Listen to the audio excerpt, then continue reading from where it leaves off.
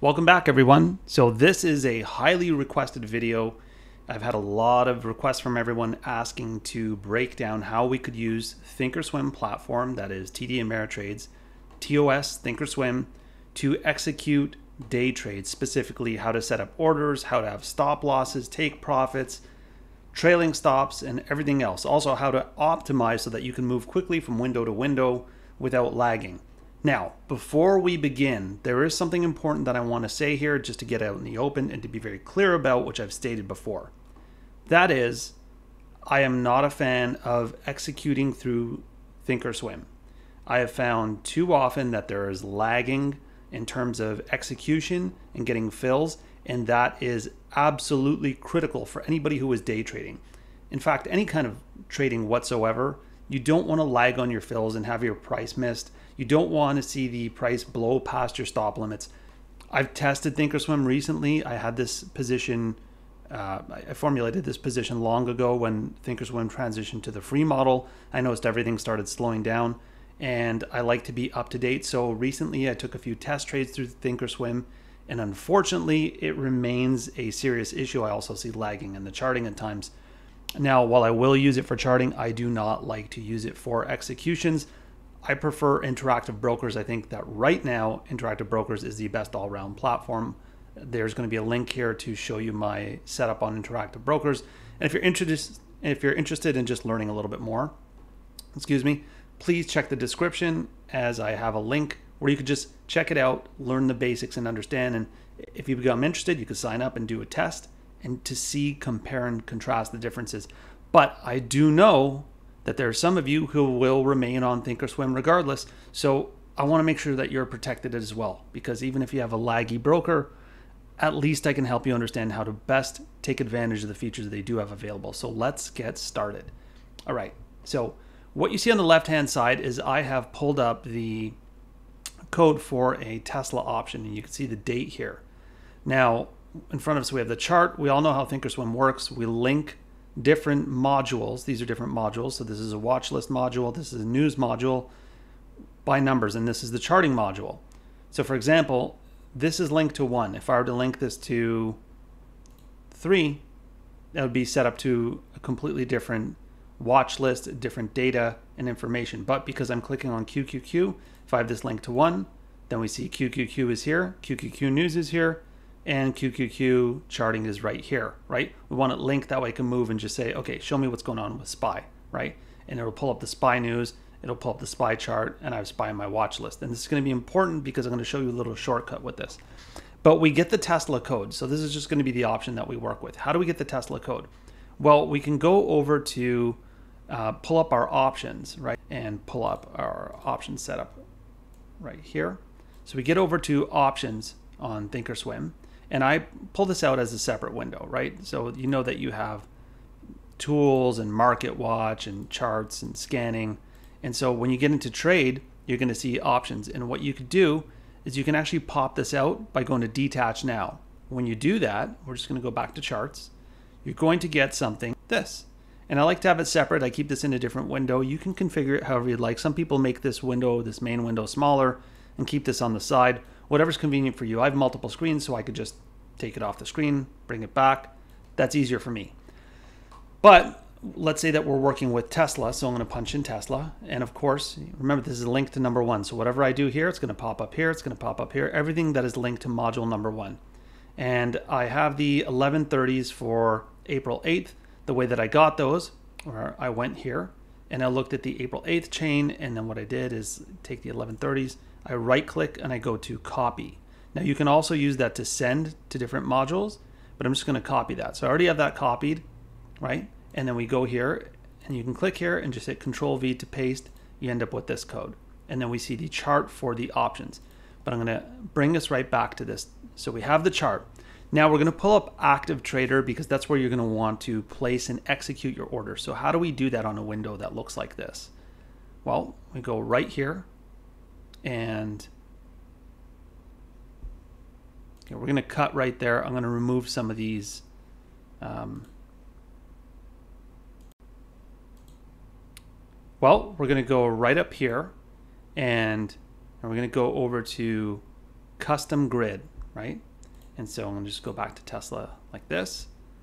And then on our custom grid, I'm gonna add another window here, right?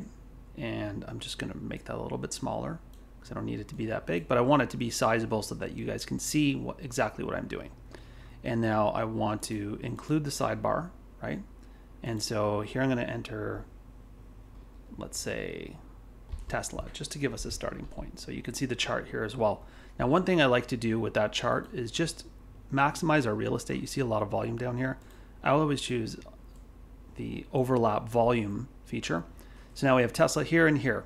Now what am I going to do? I'm going to actually to turn this into number two, right?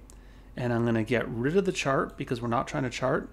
And I'm going to introduce active trader. I clicked on active trader, right? And now I kind of want to get rid of this. So I'm to go back up and I'm going to turn off customized grid so we don't have to see that. Okay. Now here we go. And remember, you could just manipulate this, make it your own, make it a little bit bigger, make it smaller, and keep it about this size just so you guys can get a better look. Now here's a quick shortcut that I have. You could copy this and paste it right here to bring up the option, right? Because we're not trading Tesla underlying stock, we're trading the option and we want to be able to move quickly. So one thing that you can do is just say, turn this into number two, hit that over there, and then just go back to number one, right? So now we have the Tesla calls located in this window. And I just did that by turning it into number two, clicking on it so it populates into module number two. Um, and again, you can just copy and paste. So how do we enter our orders? Well, let's take a look. We want to pop this down. So you can choose your quantity and there's some there's some quick buttons here that'll help you out. So if you want to go with 5, 20, 100, whatever it is, you want to enter that. So I'm going to just enter one for convenience sakes and make sure that you hit enter. I like to hit enter because then it saves, right? Because there's one. If I just go five, sometimes it doesn't populate. Sometimes it does. You can see that it does here. I have clicked in the past where I've just said, let's say three, and it hasn't populated.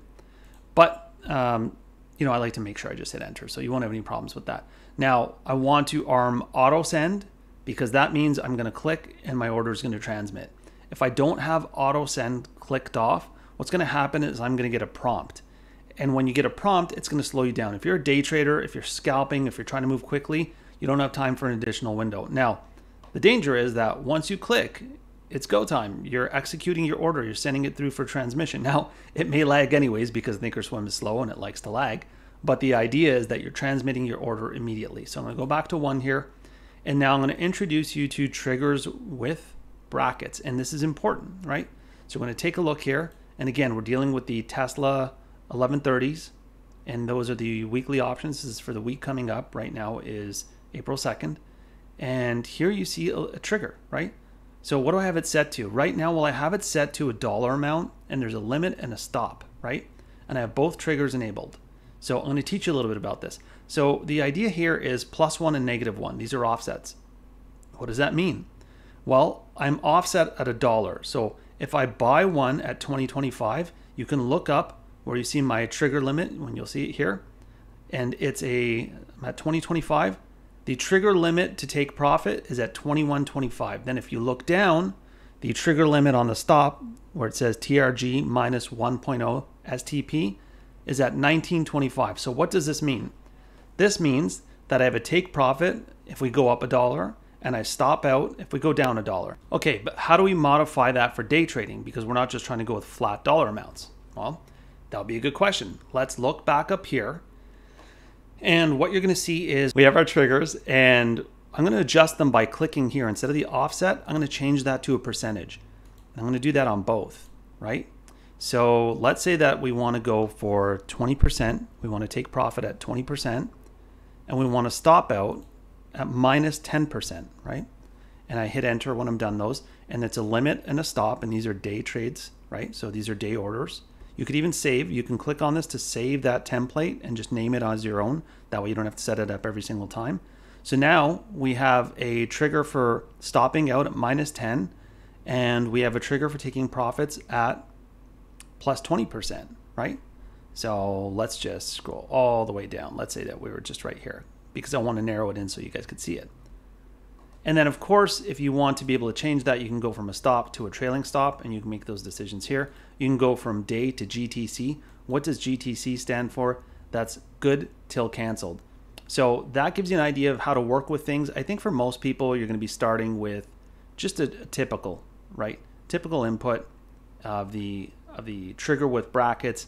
Like I showed you, you'll have your input, and then you could slide things up and down to manipulate them and make them your own.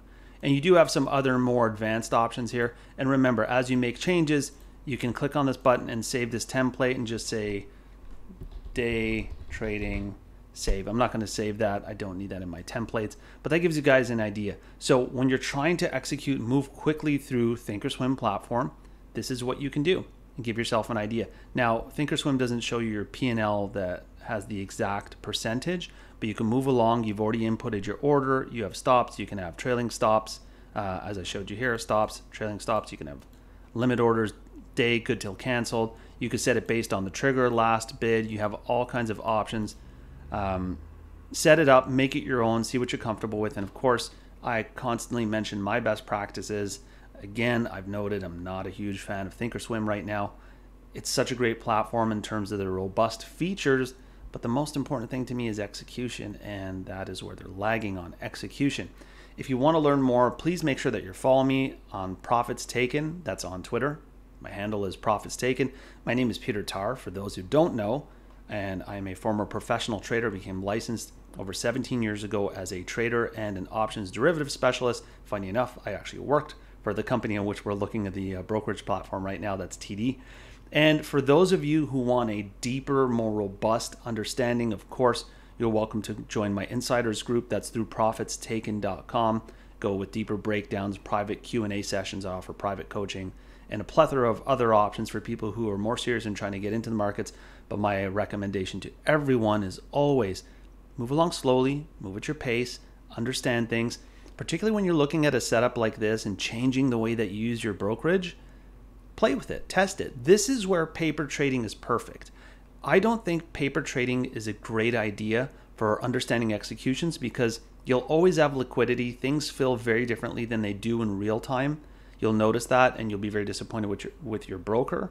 But where it really helps is the, the platform itself. The platform doesn't change. So setting this kind of thing up, clicking the buttons, finding things, linking different modules, that's all going to be the same in paper trading. Paper trading is basically, to me, it's just a demo of the platform that isn't in real time. Um, but it doesn't give you a great demo of trading, if that makes sense. Helps you demo a platform in real time or close to real time, but not the actual trading experience. So if you want to get a better understanding of this, certainly do it in paper trading. That way you're not fumbling around saying, was it trigger with brackets or do I maybe enter an offset that is a dollar amount instead of the percentage? Get used to it. Make sure you save your templates, get really comfortable. And again, remember, one of the tricks that I use is I preload the contracts here. I copy and paste them as many as you have, and then bang, I just move over to yellow because I have this link to yellow. Click on it and it populates really quickly. It just saves you time of copying and pasting, but you can make it your own. Some people are going to have one screen, some people are going to have multiple screens. Some people are going to have really big screens. Some people are going to be working off their laptops. I never work off of a mobile phone. So I think that's a really, really dangerous idea with uh, trading stocks and options. But again, make it your own. Uh, if you have any questions or comments, leave them in the comment section below and feel free to drop some questions on my Twitter feed. Thanks, everyone. Good luck, and I hope that this was very helpful.